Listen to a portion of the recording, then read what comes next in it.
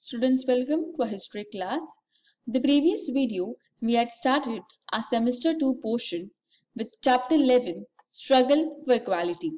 Today, in this video, we will continue the same chapter.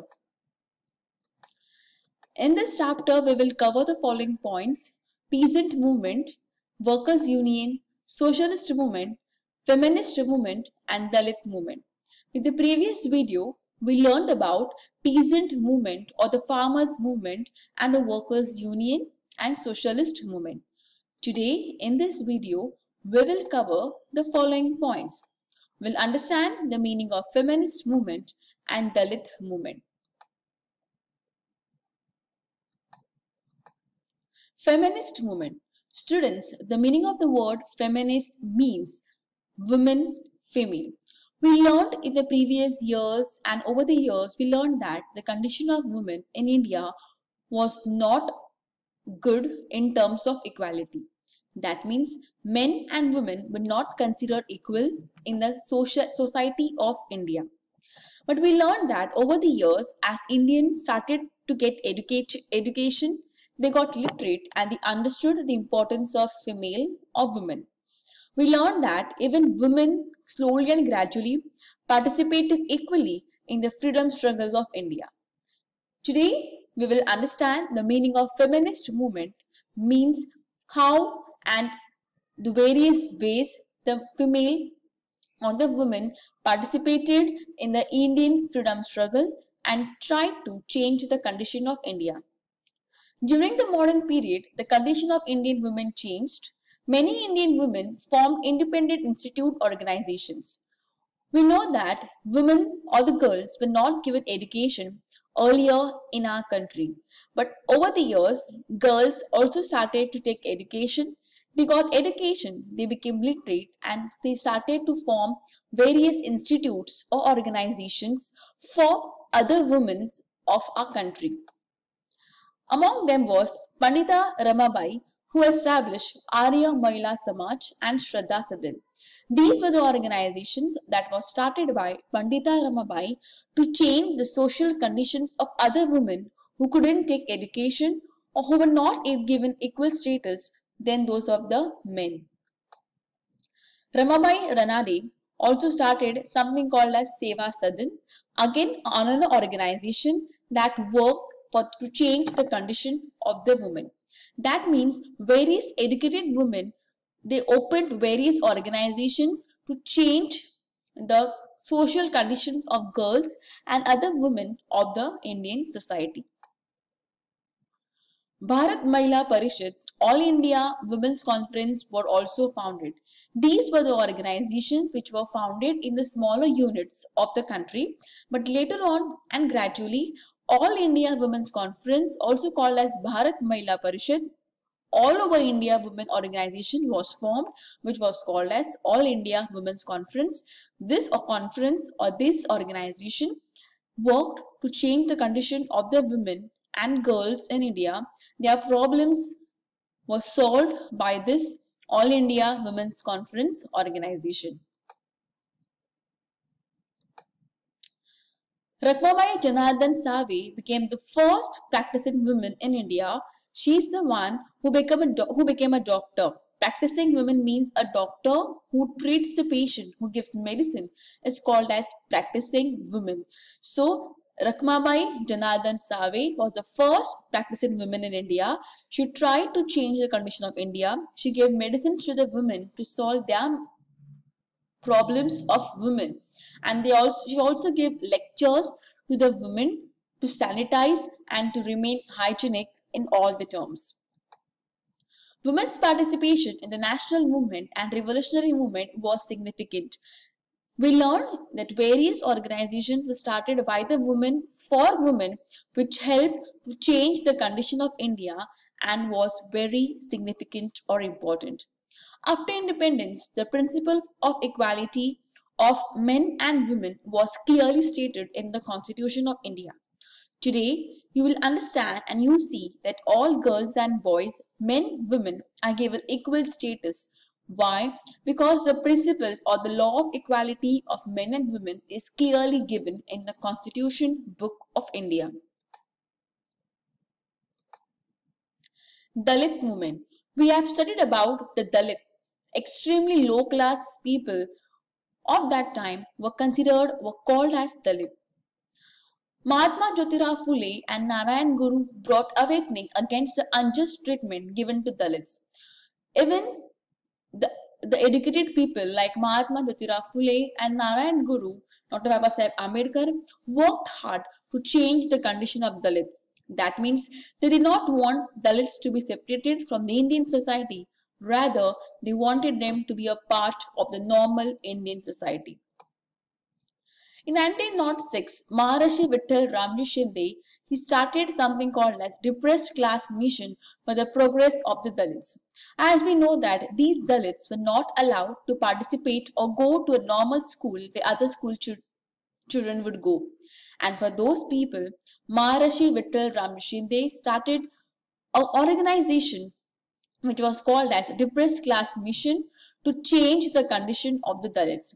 These organizations solved the problems or helped the people of who belong to Dalit community. Dalit movement important part of their work was to make Dalits feel respectful, well educated and second part of their work was to destroy the delusive ideas regarding Dalits in the minds of upper class.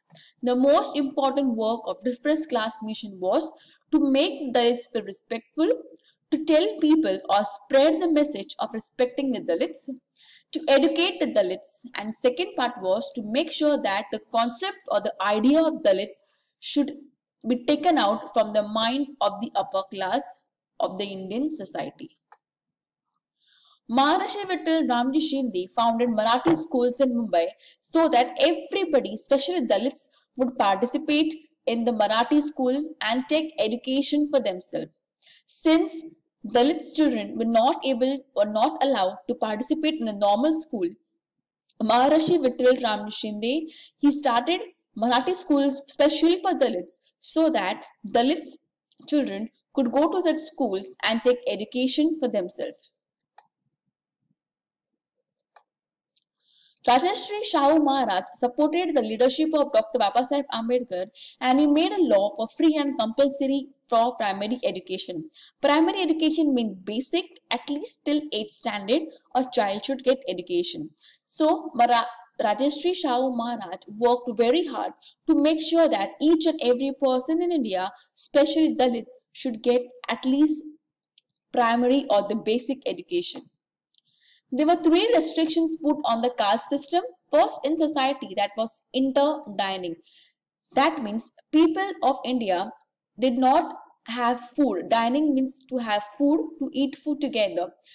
People of Dalits were not allowed to have food along with the upper class of society. Rajarshi Shahu Maharaj worked very hard to change the concept of inter-dining. That means he wanted to make sure that each and everybody, Dalits, should be included in the society of India and they should have common lunch or food together. Intercaste marriage. Intercaste marriage means girl or boy who belong to different castes getting married was not allowed. For example, Hindu getting married to a Muslim was not allowed in our country of India. But Rajarshi Shahu Maharaj worked hard and supported intercaste marriage.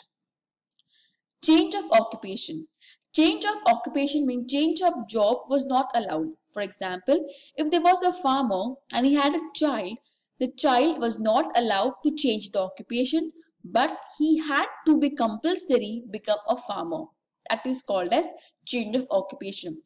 A farmer's son has to be a farmer. He was not allowed to take education or change the occupation or change the law. That was again stopped by Rajarshi Shahu Maharaj.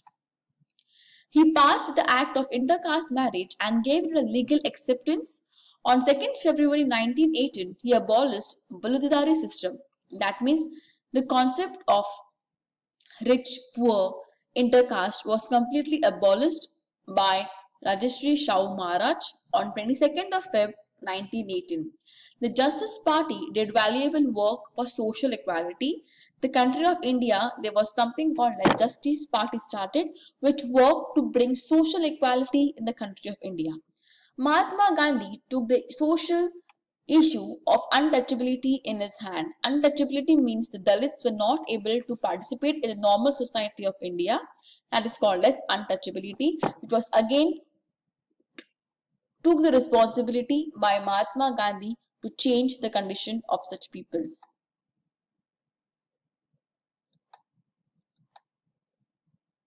The struggle of the Dalits began under the leadership of Dr. Babasaheb Ambedkar. He aimed on establishing a society based on the principles like liberty, means freedom, equality, girls and boys equal, and fraternity means respecting everybody. Dr. Babasaheb Ambedkar wanted to make or frame the country of India so that everybody should be respected, should be equal, and should have freedom to do whatever they wanted to do. He established Bahishkrut Hitakarini Sabha and the most important message given by Dr. Babasaheb Ambedkar is be educated, be organized and be educated was inspirational message given by Dr. Babasaheb Ambedkar. Means you have to take education, you have to be systematic in your work and you have to help the other people to get education was a message by Dr. Babasaheb Ambedkar. Babasaheb Bole got bill passed for public water reservoirs opened for Dalits, but the Dalits were not allowed to access water from the tank.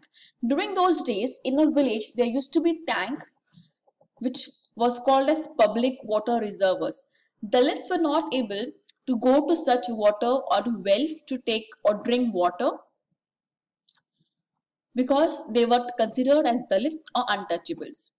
And for that reason, Dr. Babasaheb Ambedkar started Satyagraha at Chavdar Lake in Mahad. There was a lake, a pond which was at Mahad, which was named as Saugar Lake. Okay, in order to allow Dalits to drink water from the same tank which the common people drank. Dr. Babasaheb Ambedkar started Satyagraha at Chavdar Lake in Mahad. This is the picture of it, which broke and allowed Dalits to participate and to drink water from the common tank in the village. Efforts were made by him to allow Dalits enter the temples as well as the Dalits were not even allowed to enter the temples Dr. Babasaheb Ambedkar worked very hard to make sure that Dalits also should be allowed to enter the temples and worship God. Newspapers were the integral part of Dr. Babasaheb Ambedkar's movement. He started newspapers like Muknayak, Bahishkrut Bharat and Janta Samta. These were the newspapers started by Dr. Babasaheb Ambedkar to spread the message of equality, liberty and fraternity. He established independent Labour Party. He opposed laws that went against interest of the laborers. He also worked for the condition of the laborers or the workers and he made sure that no worker or no labor faces any kind of inequality or injustice. In 1942, he established All India Scheduled Caste Federation to put issues of Dalits in a legal manner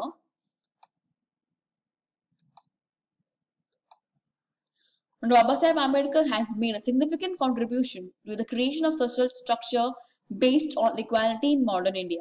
Today, we find equality. Today, we have girls and boys coming to school, a same school, taking same education, women and men working together. And that is all because of the Indian freedom fighters and especially Babasaheb Ambedkar who worked hard to get this such kind of equality in the country of India. The struggle for equality has a prominent position in making of modern India. Children, it is very important for us to understand that today we, we don't face any kind of social issues because our freedom fighters have worked very hard to get the concept of equality for girls and boys in the country of India. I hope students the lesson is clear to you. I request all of you to kindly watch the video and solve your assignments daily. With the next video, we will begin our next chapter. Thank you. With this video, we have completed chapter 11, Struggle for Equality.